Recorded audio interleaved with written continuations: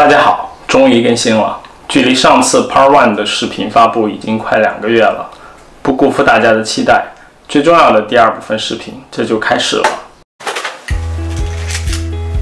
徕卡黑漆，真香！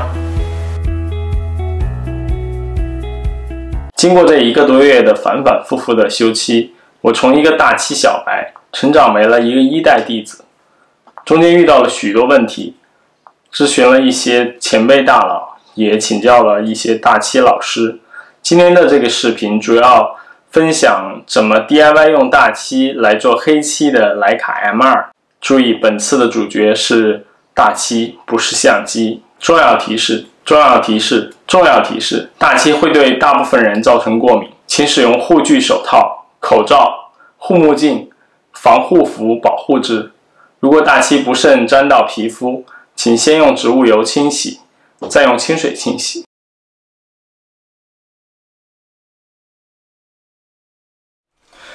工欲善其事，必先利其器。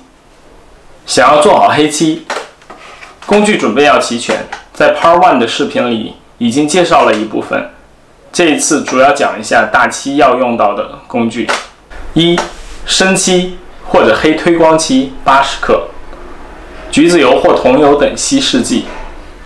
三、尼龙刷、笔刷修漆用。四、玻璃或者亚克力板调漆用。五、调漆刮刀调漆用。六、医用酒精或百分之九十五的酒精清理用。七、阴房可自制。八、无尘纸巾擦漆用。九、滤漆纸可用婴儿垫巾代替。滤漆和揩青用十脱脂棉可用卸妆棉代替揩青用十一四百一千两千三千目水磨砂纸准备一到三张十二珍珠粉推光粉推光抛光用十三油性涂料笔白色和红色填字用十四防护用具若干橡胶手套若干口罩如果过敏严重请穿防护服戴护目镜。大部分的工具都可以在某宝买到，到时候一些相关物品的链接我都会放到视频下面置顶的评论里，供大家参考。这里再讲一下阴房的制作。对大漆有一定了解的朋友都知道，大漆是一种天然树脂漆，相比我们现在广泛使用的化学漆有很多的优势。虽然可能会导致过敏，但是至少不会有甲醛、苯等致癌物。最近两年，二氧化钛又被列入到欧盟的致癌物质列表，这让拥有八千年历史的大气又回到了我们的眼前。话题扯远了，大气干燥的条件合适合适的温度、合适的湿度，并不需要风干，而是在二十五到三十摄氏度、百分之七十到百分之八十湿度环境下才会干燥。没有专业的阴房，我们就找一个泡沫盒子带盖子的，准备一条湿毛巾。如果有湿度表的话，可以更准确地控制湿度和温度。把毛巾平铺在盒子底，然后用保鲜膜套上硬纸板，放在毛巾上面就可以了。到时候修图的零件就可以直接放到保鲜膜上，基本上不会对漆面有影响。其他工具的使用将会在后续修漆的过程中逐渐说明。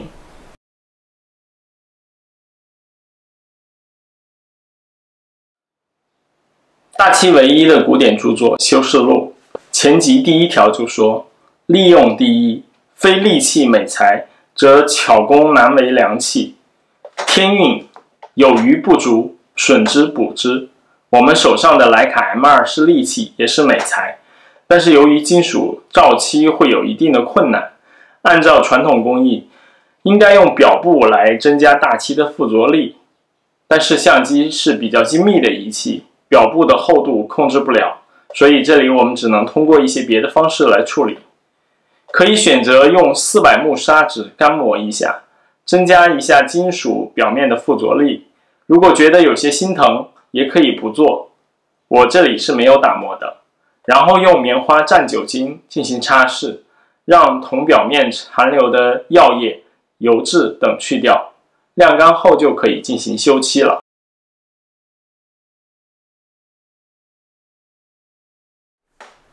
万事开头难，在金属胎体上修第一遍漆，更是有难度。首先，我们先把大漆挤出一点到玻璃板或者亚克力板，或者使用小瓷碗也可以，量要小。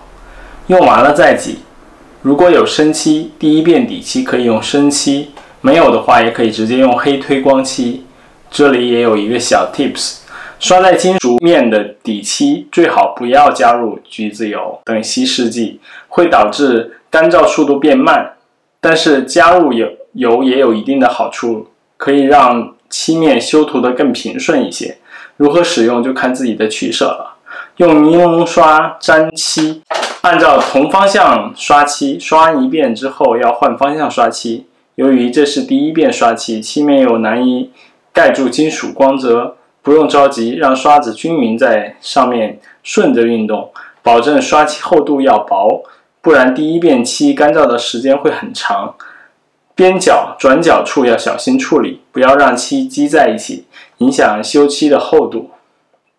刷完漆之后，等待三到五分钟。这个时候有一件重要的事情要做，找一个针状器物，把机顶盖和底盖的字里面的漆挑出来，这样在最后填字的时候就不会有问题。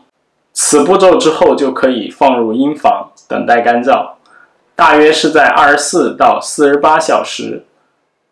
另外一种方法，也是可以用烤箱的。用一百二十度温度烤两小时，这样的效果是金属挂漆的效果好，不容易脱落。如果没有这个条件，或者不想用高温烤漆，也可以按照我的方法多次修图来保证漆面的稳定度。等待二十四小时后，可以检查漆面干燥程度。如果还是软的，就别进行下一步，让继续等待干燥干燥。如果你的阴房湿度、温度都达不到，会影响。干燥的速度。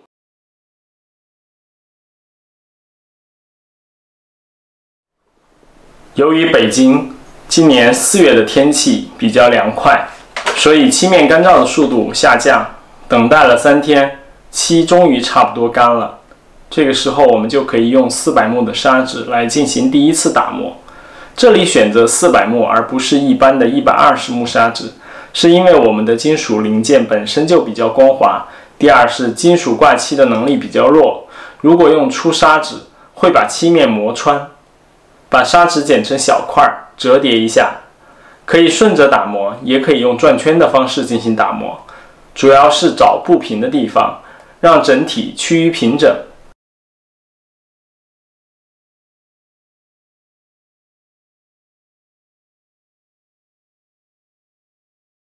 好就进行下一次的修漆。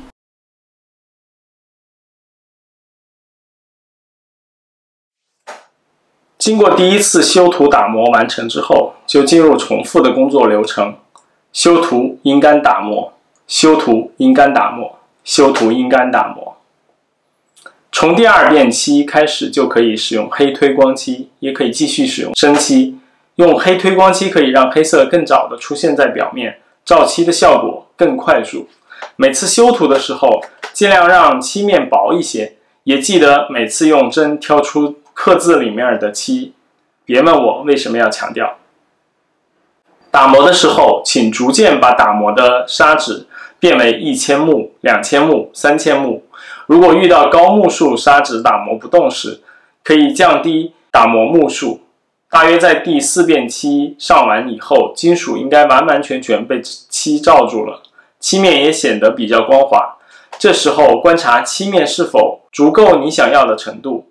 就可以进行下一步揩青了。如果打磨后漆面还是比较高低不平，那么可以继续修图，直到自己满意为止。但是建议修图最多十遍就好，太多次的修图，漆面厚度太高，可能会影响最后的装配。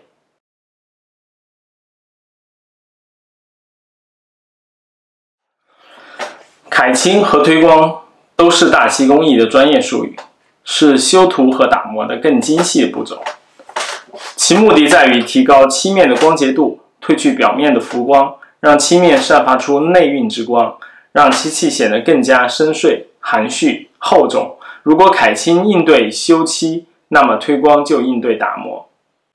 我们先进行揩青，揩青前可以把修图打磨后的零件用清水清洗一下，并且晾干。用滤漆纸或者婴儿垫巾对折，然后中间放上脱脂棉。没有脱脂棉可以用卸妆棉代替。然后把纸巾包起来，做成一个晴天娃娃的形状。如果做过踏包的朋友，就应该很熟悉。我们用这个晴天娃娃蘸圣漆或黑推光漆，反复打转，让漆均匀附着在表面。这个时候就可以进行揩青了。揩青的时候，均匀的在零件表面涂抹，每个地方都要照顾到。涂完之后放置几分钟，再用无尘纸巾擦拭掉表面多余的漆，这样的效果就让漆更薄，来填补细小的缝隙和打磨后的痕迹。接着放入阴房，四到五个小时以后可以再次进行揩青。等待揩青四到五次以后，可以进行一次推光。推光是使用油和推光粉或者推光膏进行更细微的打磨。推光的时候，先用手涂抹橘子油或者其他植物油到零件上，再用手蘸推光粉，用大拇指指肚在漆面来回摩擦。遇到比较小的位置，可以换用手指尖来进行推光，但是记得不要留指甲，以免划伤漆面。推光的时候力度要均匀。如果油干了就加油，推光粉没有了就蘸推光粉继续推光。之后一定要用清水和洗洁精洗去油脂，晾干以后再用布擦一遍。揩青和推光可以反复进行，做到多次揩青少推光。一般整个流程推光两到三次就可以了。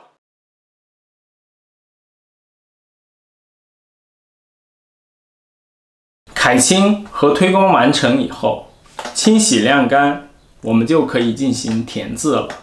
如果你在修图的时候没有把字口挑开的话，这一步就可以跳过了。啊，所以这一步我没有示范，因为我之前犯了懒，没有挑字口，这里填字我就没有办法进行了。但具体的操作就是用油性涂料笔在字口中填入相应颜色。等到快干的时候，用纸巾蘸橘子油，拭去多余的漆，没有字的莱卡，好像少一丝灵魂。字口填完就可以进行装配了。需要注意的是，由于上了漆，有些漆可能在零件的边缘，导致装上去有些困难，请检查各个丝口，去掉多余的漆即可。下面是装配的视频。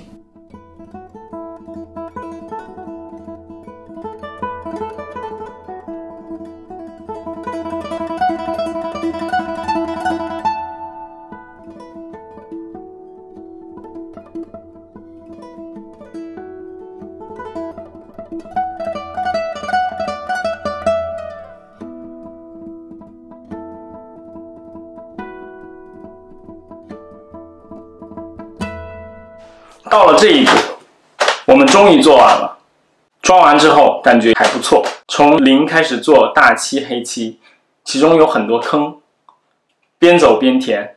这里我也总结一下，以供大家参考。第一，自考一定记得挑漆，不要犯懒。二，第一遍底漆一定要薄一些。如果对烤漆没有执念，请建议请第一遍烤一下。三，对于顶盖和底盖边缘的部分，不要过度打磨，容易造成提前漏铜，装配后其实不太和谐。四，打磨时用力要轻均匀，上漆也一样。如果有条件，可以在一间无尘室进行。五，每次上完漆记得清理一下湿口，尽量少留多余的漆。其他的就按照个人喜好来吧。下一次。我准备做一个锡皮漆顶盖，挑战一下自己。这次视频历时两个月时间，拍了很多素材。为了避免让大家又看长视频，我提前写了台词，用了提词器，请大家点赞、投币、收藏，一键三连啊！